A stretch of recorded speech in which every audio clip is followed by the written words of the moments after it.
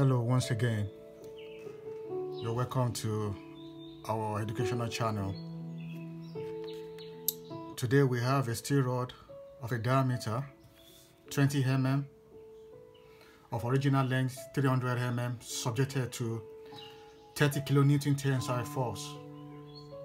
Once again, we have a steel rod of a diameter 20 mm and of original length 300 mm subjected to 30 kilonewton tensile force. Now, we are asked to calculate three entities. First, calculate the applied tensile stress on the steel rod. Two, calculate the lateral strain given that the tensile strain of it on the steel rod is 0.00655. Three, calculate the final rod thickness. Now we have very good important parameters being given. Yeah? Now in order to find the applied tensile stress, which is number one, we use the formula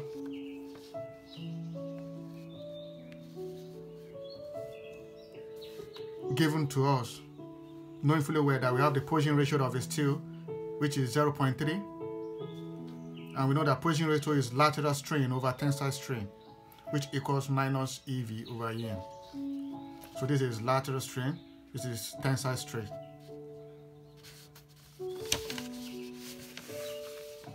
Now we have our original diameter, 20 mm. We have our original length of the steel, 300 mm we have the tensile force subjected, which is 30 kilonewton. Now, in order to find our applied tensile stress, we use the stress formula, which is sigma equals force over area. Once again, sigma, which is stress, equals force over area. So stress equals force over area. In order to find the cross-sectional area of the steel rod given, we use the formula, which is pi d squared over 4 pi d squared over 4. Now, our cross-sectional area equals 3.14 multiplied by 20 squared, which is our diameter, original diameter, over 4. So it gives us 314 millimeters squared, which is our steel rod cross-sectional area. This is our steel rod cross-sectional area. So now we slot it in into the stress formula, which is sigma equals F over A, which gives us 30 times 10 to the power 3 over 314, which gives us 95.54 megapascal.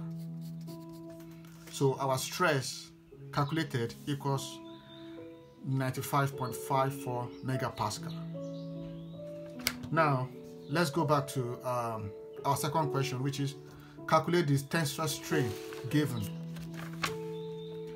Calculate the tensile strain given that the tensile strain equals 0.005655.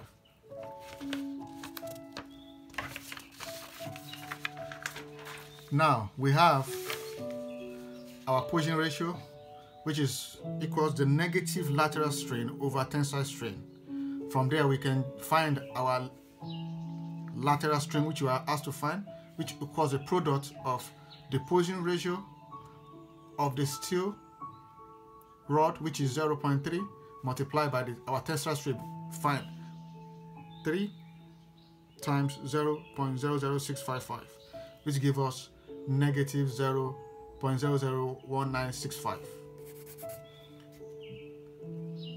which give us the calculated lateral strain of our steel rod. Now we are asked to find the final steel rod thickness. We are asked to find the final steel rod thickness. How do we find that? By using the formula lateral strain equals the change in diameter over the original diameter of a steel rod. So for us to find that, we bring down our change in diameter which equals lateral the product of lateral strain to original diameter we give us change in diameter equals negative 0.001965 times 20, which gives us negative 0.0393 millimeter. Now to find our final steel rod, then we subtract the change in diameter from the original length, which gives us the final diameter equals 20 minus 0.00393 millimeters. So which gives us 19.9961 millimeter. Don't let's forget that we have four decimal places here in order for us to find the accuracy. So we have 19.9961 millimeter. Thank you.